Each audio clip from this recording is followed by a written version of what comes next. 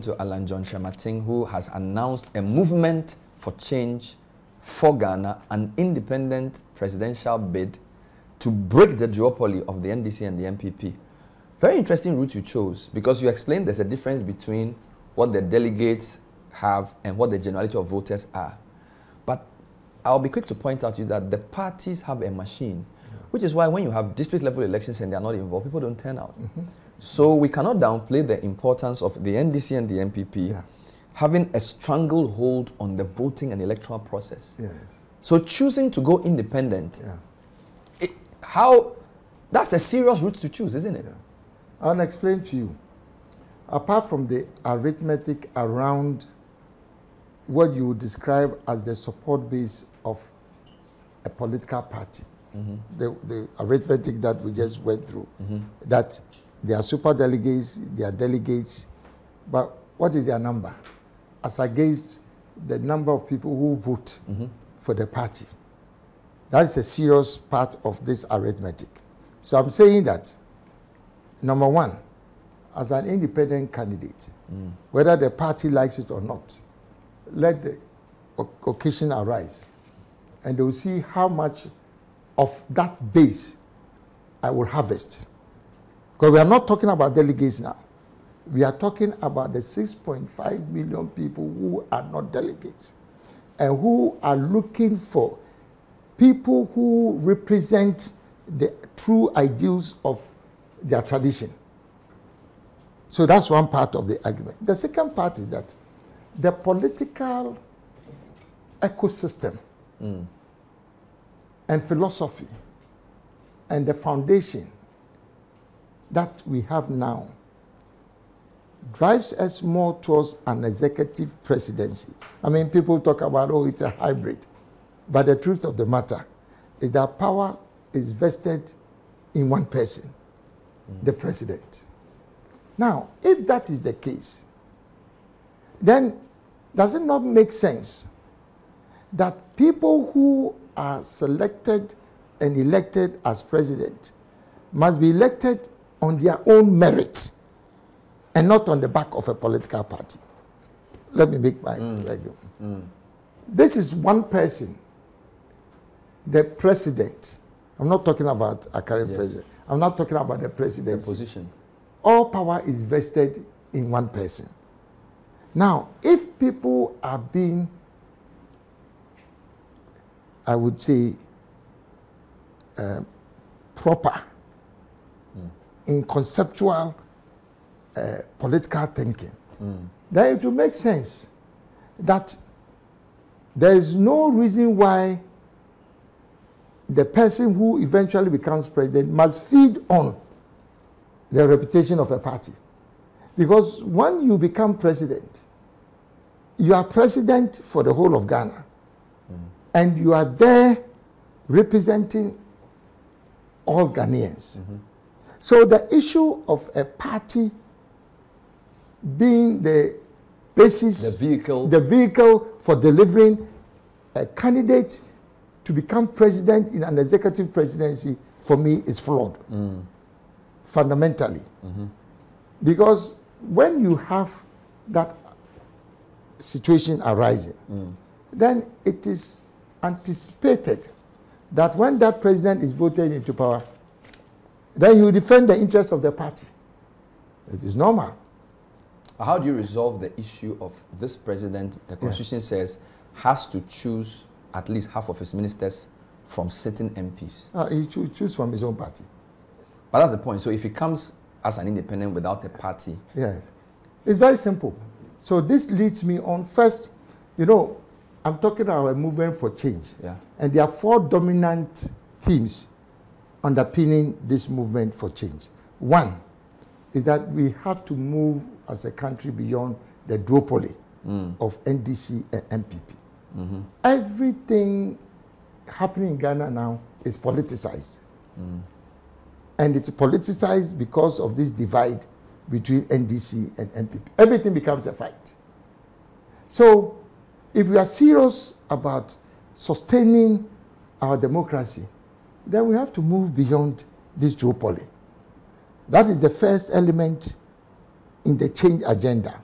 And within that first element also is democratizing the internal processes of our party.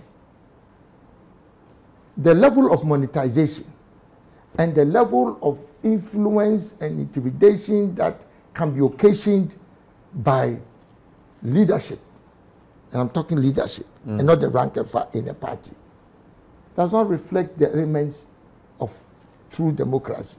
So, when we talk about change, it is not just going beyond the duopoly, mm -hmm. but there should be a sense of democratic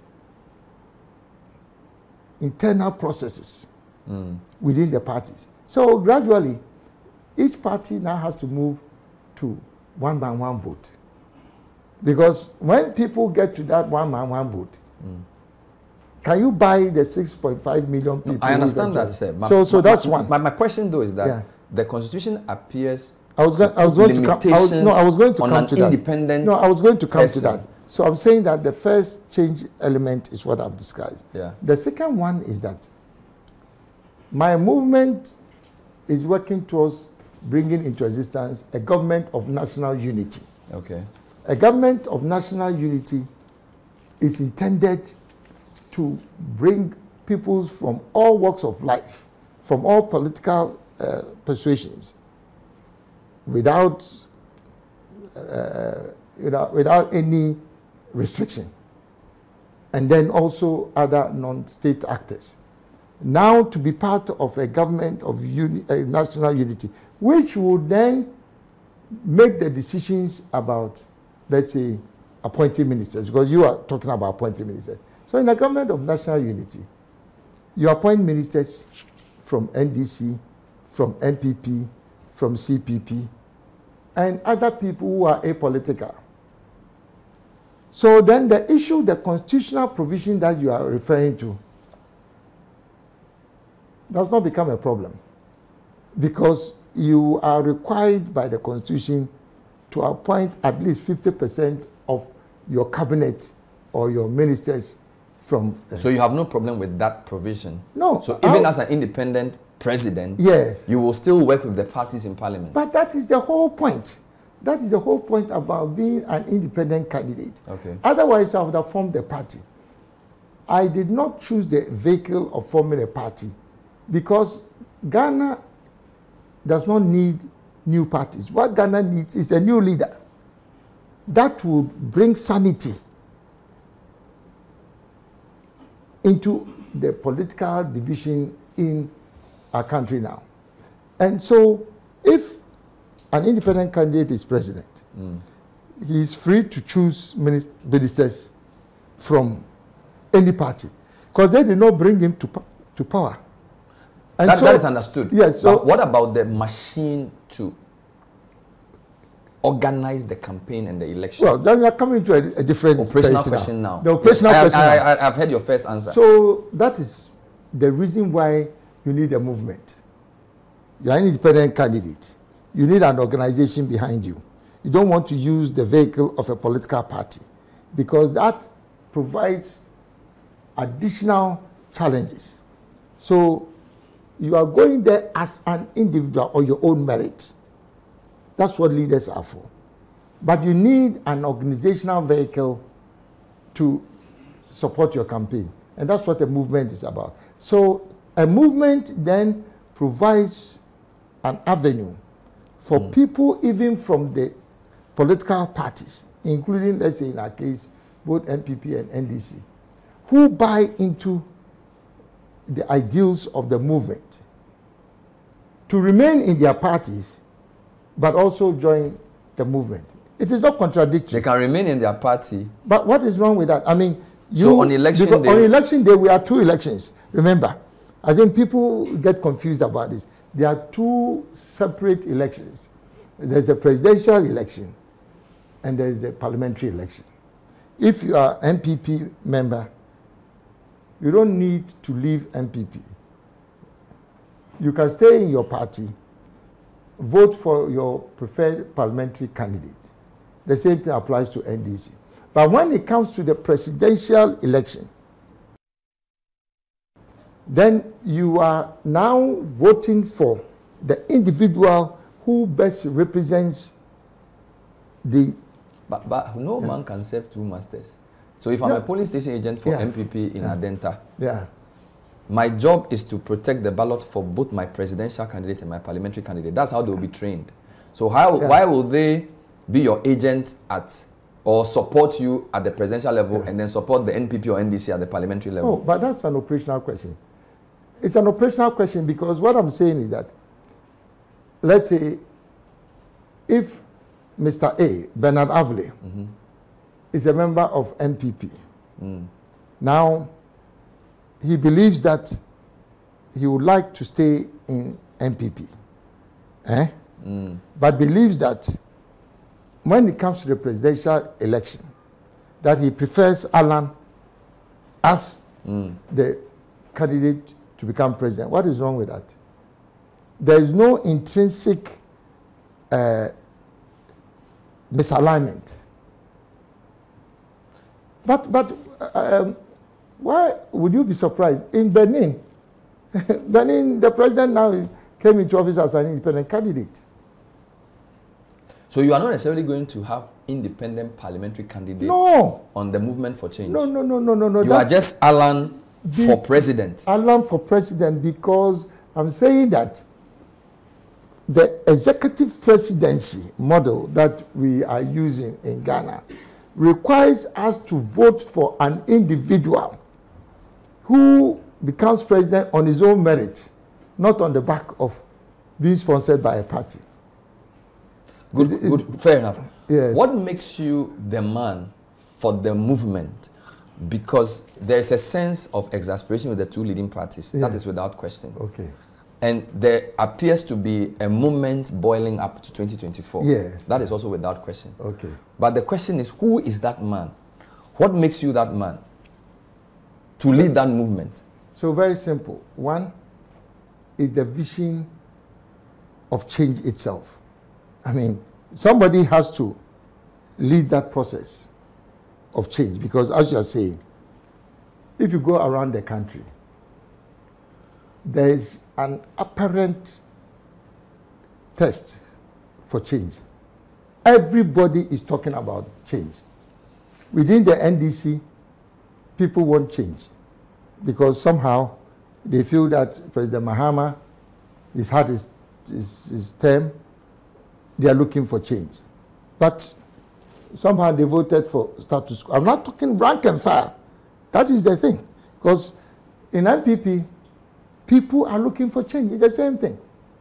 The vice president is an extension of the status quo. You see, people don't realize that when we talk about presidency, it's a ticket. You cannot divide that. It's the president, president and vice president. It's a combined ticket.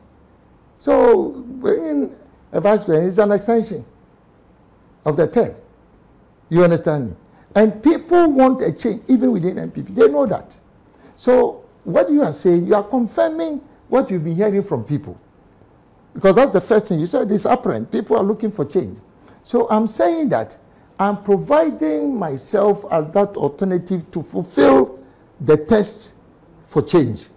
Now you would say that, okay, why are people looking for change? They are looking for change because they feel that the economy must come, must be put to work. They need jobs. Um, they want to bring decency into politics. They are looking for respect for rule of law, for discipline, so many things that people are looking for. They want somebody with vision, but they want somebody also with competence, demonstrable competence. And they want somebody also with integrity to deal with the challenge of corruption. And they want an action man. So these are the four cardinal, I would say, elements of Vision, leadership vision, Integrity, vision, competence, competence. integrity, and action. What about the fact that they would want a person who is not part of establishment?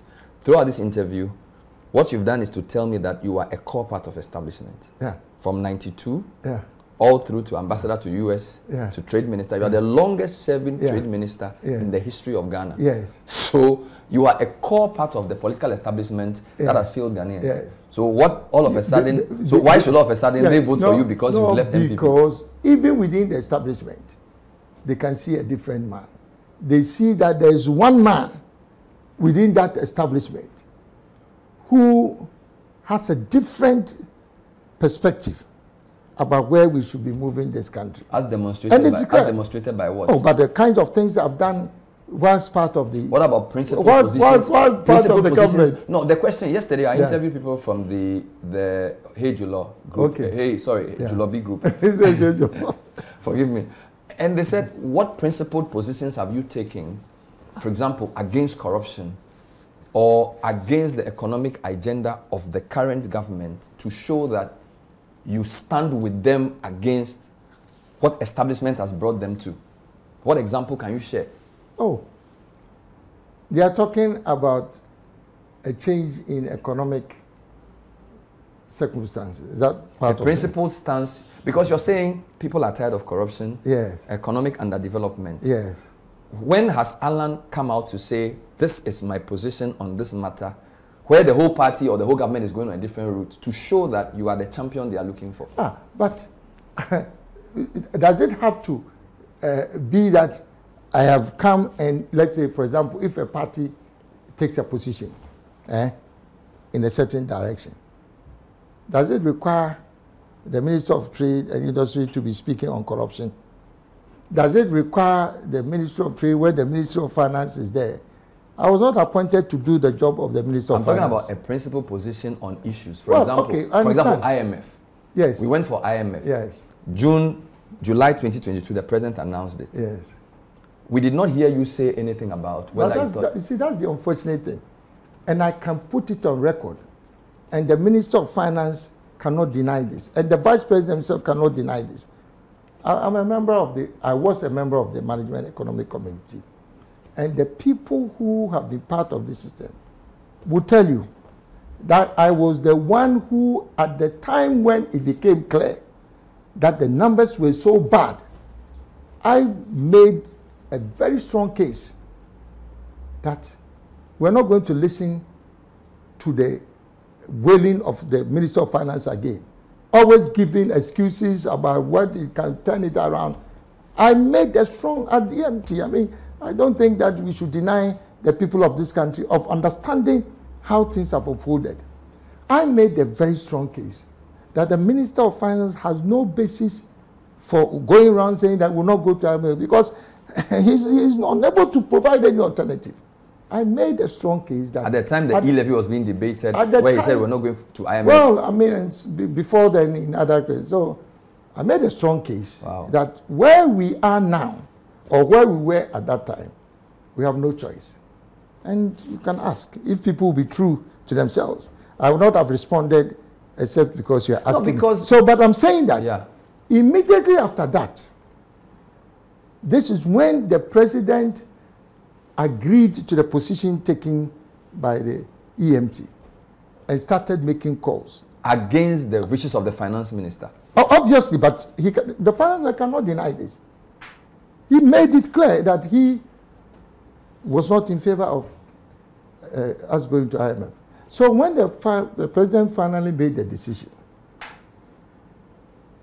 I was the first person in leadership position who went publicly to defend the position of the IMF. That, I'm surprised you, you, did, you didn't know this.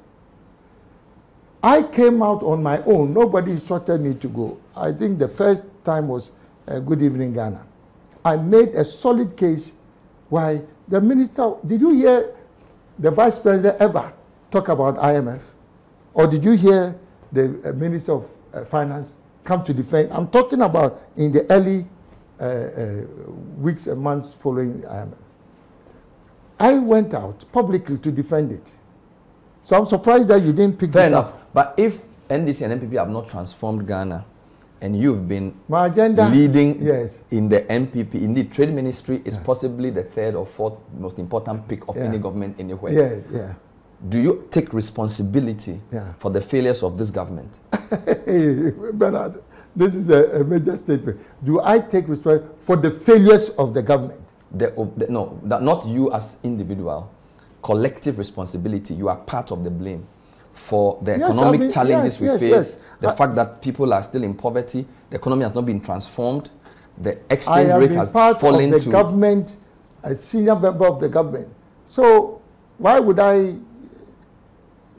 not take part of that responsibility as collective?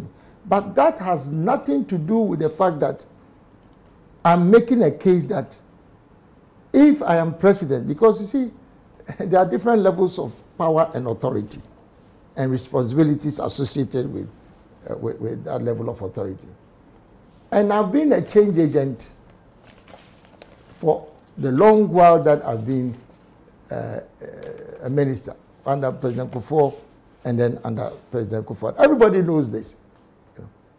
So I'm saying that the kind of agenda that I have pursued in NPP, both under President Kufuor and under President, speaks directly to the message that I'm carrying now. Let's test that. Yeah. You were trade minister from 2003 to 2007, mm-hmm. and then you became trade minister again in 2017 Yeah. to 2023. Yes, In total, almost 10 years. yes, If you look at our history of economic development from 1991 yes, to 2020, yes, the average growth rate of industry yeah. has hovered around 14%. Mm-hmm. In 1999, it was 14%. By 2018, it was still 14%. Yeah. Agriculture came down from 58 to 40. Mm-hmm. Services rose from 29 to 45. My mm. point is that our industrial fortunes haven't changed that much. Yeah. Industry has not really created jobs. It has not driven transformation. Most economies go from agrarian to uh, industrial before services. We've just jumped to services. So, what is the evidence that Alan has the magic wand for transformation when he's had 10 years as trade minister? Yeah, but you are getting it wrong, Bernard. You are an analyst. Now, the architecture of government will not support the position that you are advancing. Because for, for the transformation to occur and for industrialization to become the driving power behind any government, the government itself, I'm now talking about the president, the leadership, meaning the entire cabinet, must prioritize industry. And mm. when we talk about prioritizing industry, it also then means that the amount of resources allocated in the budget to support industrialization matters. So it is not about Alan having been minister and you are saying that you haven't seen transformation. But what I can speak to is what I told you, that in President Kufuor's time, when people were talking about the golden age of business, celebrating that, oh, things were, you know, how did that come? Was it driven from the uh, office of the president? I would say that part of it was what I was doing in my ministry. But was there transformation? We are talking No, about but it was not industrial transformation. Yes. transformation. No, no. So, so, so, so I'm saying that the efforts at that time, whether it was the PSIs Mm. or what I've done under President before, was all targeted at transformation, not change.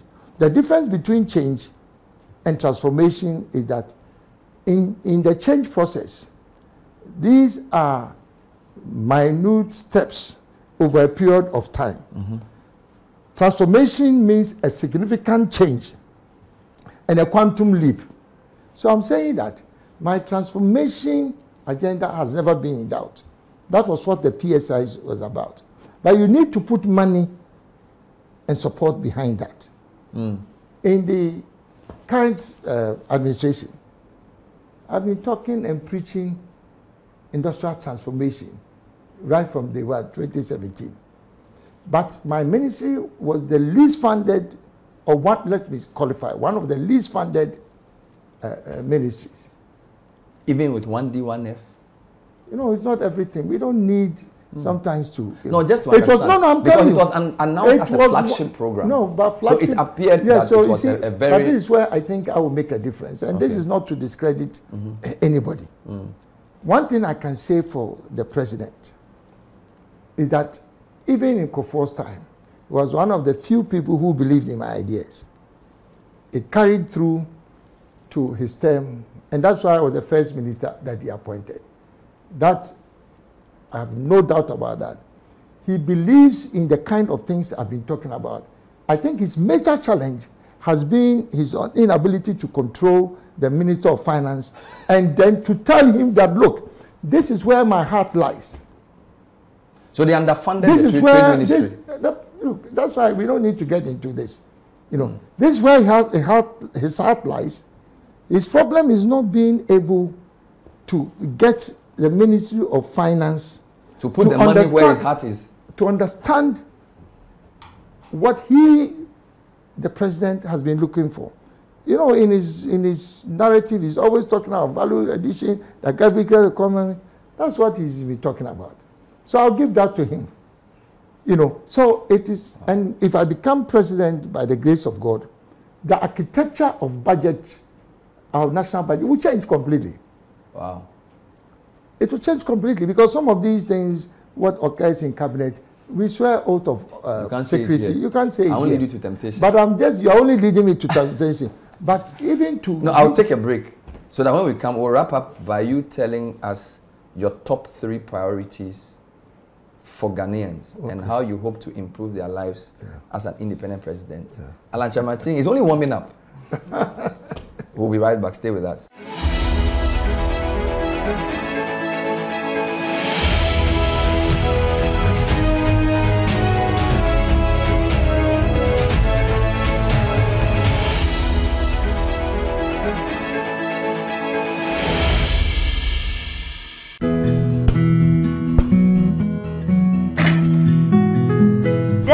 The neighborhood I'm having my twins. The very reason why I took it for us. See, the price is very good and it's spacious to contain all of us.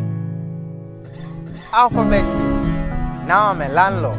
I don't pay rent. And my Airbnb business is booming. to tumi paa mi ni banki na mi nana ase anaasɛ alphabet city The pension pay me twenty percent The payment plan I want ɔmo hyehyɛ ama mi no kyɛ sɛ ɛyɛ very smooth. This is a healthy place to raise our families and creating peace. Come on, be my neighbor. Alphabet City, the ABC of Home Sweet Home. Alphabet City is a classy and peaceful gated community in Sakumono. We have 24 7 top notch security and high quality access roads. We have three bedrooms and two washrooms, three bedrooms and three washrooms with boys' quarters. We have three bedrooms and four washrooms. We have two bedrooms and two washrooms, all with beautiful kitchens and kitchenettes. Call Alphabet City on 0240 111119 or 050 44 Alphabet City, the ABC of Home Sweet Home.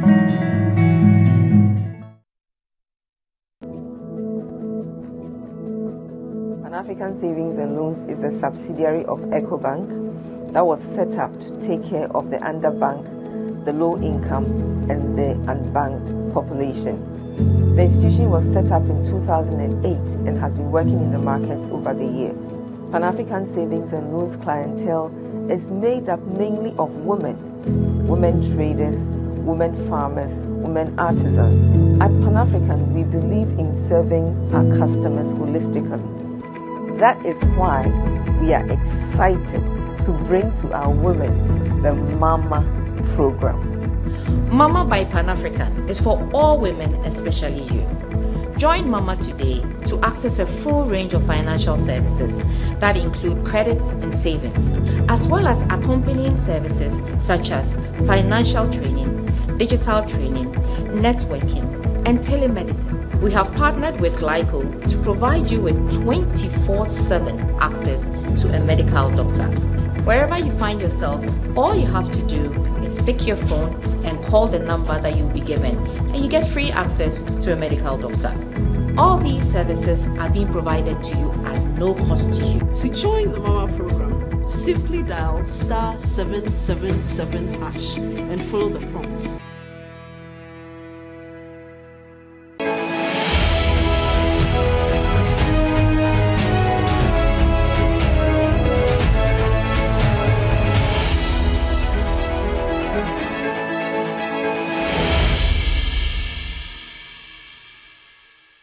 Welcome back. This is the final part of our conversation with Alan Kyerematen. We're trying to understand now his ideas for transformation. He's explained how he hopes to use the independent party vehicle to, to, to, to win, which a lot of people think will be impossible. I was talking about industrial transformation. I need to just qualify the point I was making. Okay. So I was basically saying that between 91 and 2020, mm -hmm. our Greek share of uh, economic uh, output has reduced yeah. from 58 to 40. Yeah. Services has increased from 30 to 45. Yeah. But industry has remained Yeah. the same, which was the question I put, which we are trying to address. You also spoke about the fact that even though the president's heart was in industrialization, the money was not pushed to, to support it. This uh, morning on radio, somebody wanted me to ask you about Komenda Sugar Factory. Yeah. That how come that factory is still not running? It, I, we can't go into all the details. Was this just a wrong-headed policy? Just quick thoughts around that, because I do know there are other industries that have thrived, but sugar is a very key part of what we eat. How come it's been so difficult to, to have a factory to produce Look, it? Komenda, right from the beginning, was stillborn. Mm. Uh, it was a white elephant. The NDC made the wrong decisions co- Nkrumah himself made the wrong decision at that time. But somehow, over the years, that effort was put in to bring it back to life. Now, NDC made an attempt to bring it back to life. Mm. By the time we came into office, the factory itself, even though it had been commissioned, could not produce any sugar. Mm. And so for us, we had been trying to understand the challenges associated with Komenda Sugar Factory. And one of the major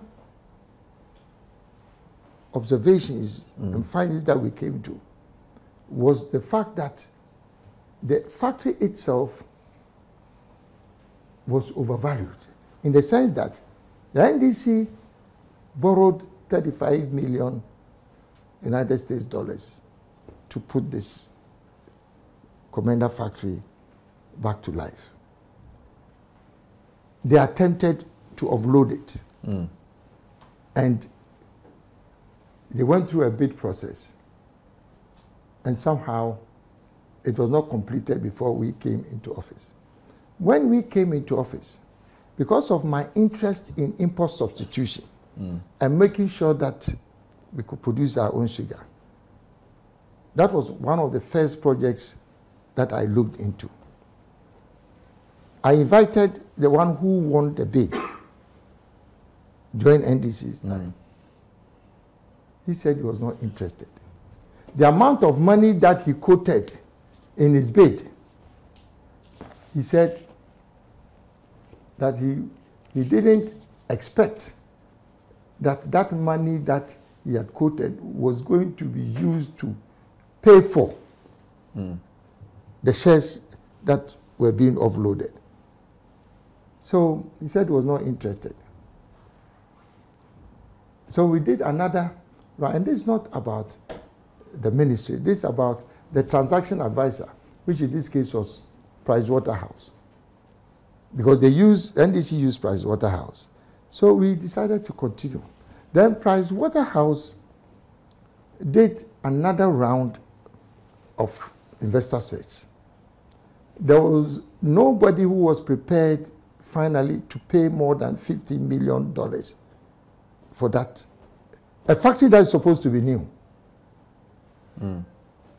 Consistently, the valuation that came in was putting the value of the factory Okay. at about 50 million dollars. So it means that something went wrong. And in fact, there's been a forensic audit on, uh, on that. I'm, I'm surprised that somehow it has not come Mm. out.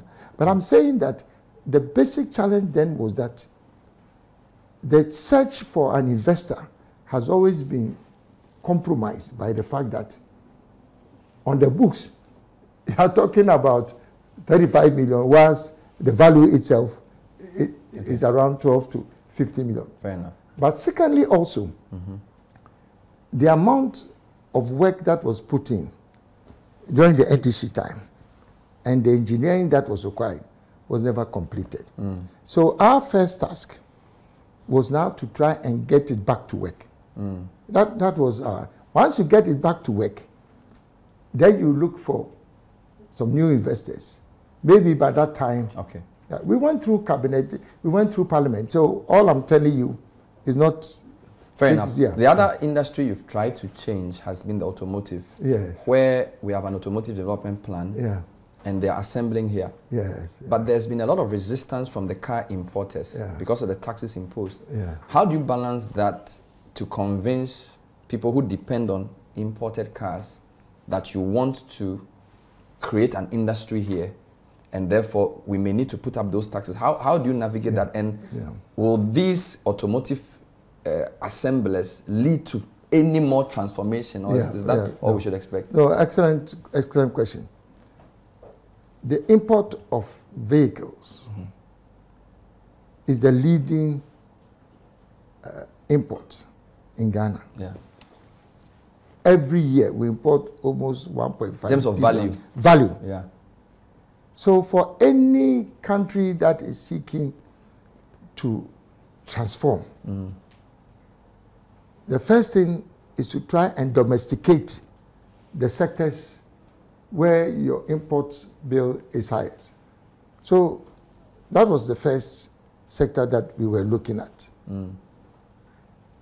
Secondly, the evidence around the world is that the most, im- most powerful industrial economies also are the ones who have the leading uh, uh, industries. I mean, mainly automobile. uh, Yeah. So from United States to China to Japan to France, Germany, along the one.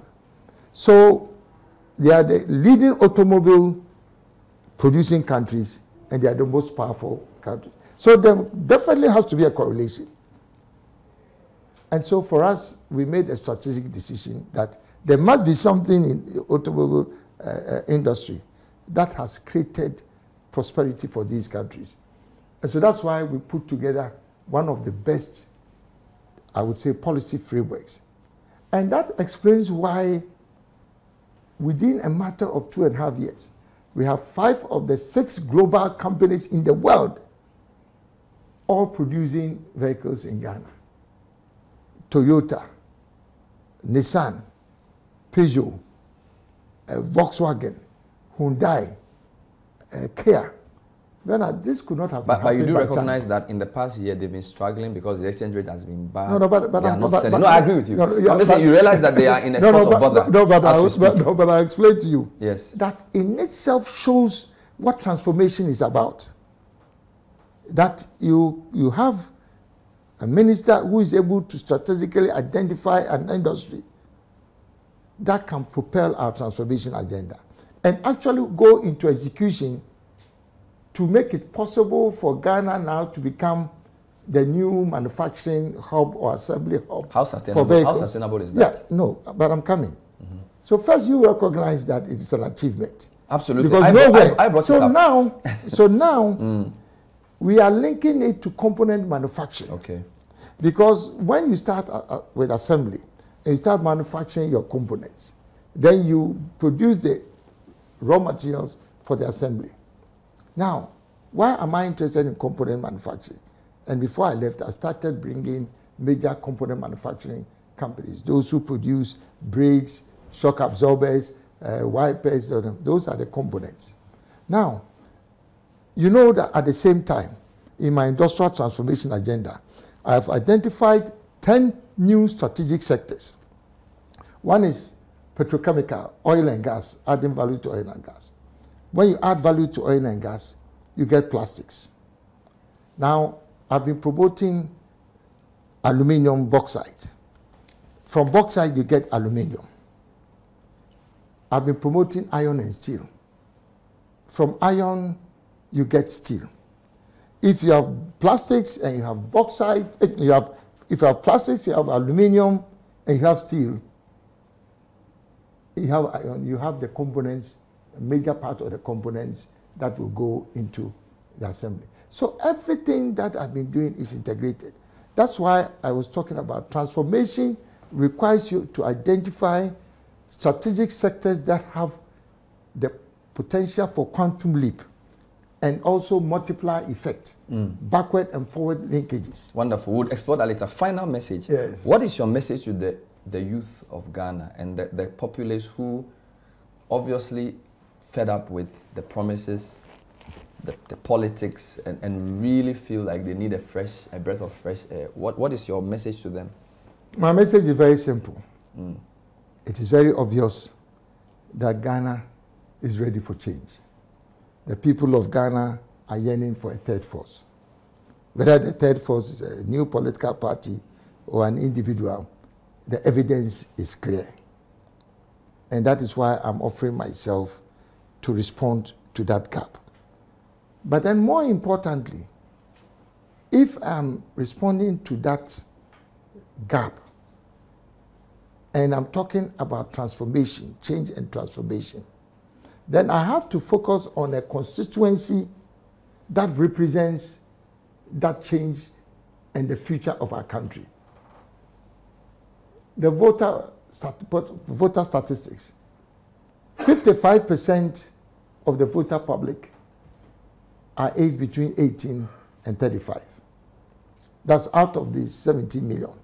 9.4 are aged between 18 and 35. And out of that 9.4 million, 2 million are first time voters, those who have just turned 18. So the statistics are clear. Mm. And if you look at the level of unemployment, it is alarming mm. for the youth. So if I'm talking about transformation, I'm talking about the future, then it only means that my base and my constituency must be the youth. And that's why I've made it clear that I'm running as an independent candidate, but my movement is led and powered by the youth. Mm. Completely. So, from yesterday, all the things I've been doing, it's all been led by the youth. And that's why you, you probably have interviewed some of the young people. And it's amazing the potential that they have. Mm. And so I'm just there as representing the face of the movement, but it is powered by the youth. And the youth are firmly uh, and strongly behind me because they can see that I have ideas that would bring material changes in their lives. Because if you don't have a job, then you have to be able to support somebody who is talking about the kinds of things that will create jobs for you. Mm. All my agenda about industrial transformation, if we had time, we would go into it. All the talk about a new agricultural revolution, if we had time, we could talk about it. How can you, how can you optimize agriculture without doing large-scale commercial farming, in addition to mm. smallholder? So the ideas that I have both for the economy, industry, and then agriculture, which are the three pillars that would create that mm. transformation. All those things are the ones that the youth are interested in. And that is why, for me, that is my, my well, constituency. We can only wish you well. It's early days. We have about 14 months to the election. We hope we can talk to you again. Does that mean you are hitting the campaign right away? People forget that I'm a powerful campaigner right from the beginning. And I, the, I have a, a, full operational structure. Already? Oh, but I mean, you know. Uh, but you left the MPP only yesterday. No, no. So Or is it You mean ago? you mean that uh, when I started? Oh, so it's the same machine? Yeah, I'm saying that I already have a machinery, so I can hit the ground running at any time, and I'm doing that. But I've now brought the youth to the front and center of To lead the of- campaign. To lead the campaign. So Will they the also lead your government? Sorry? Will the youth also lead your government? Oh, absolutely. Absolutely. I mean, basically, that's why this is a government that will be, or potentially a government that will be led by the young people. Are you a young man? No, I'm trying to check. If you are, then I have to recruit you. My listeners will tell you how old I am. Thank you, to, thank I'm you for talking to us. We've been speaking to Thank Alan you. Kyerematen. Fascinating conversation. A man who's been passionate about politics for many years, member of the NPP until this week. He's now leading the movement for change, symbolized by the butterfly Afrafranto.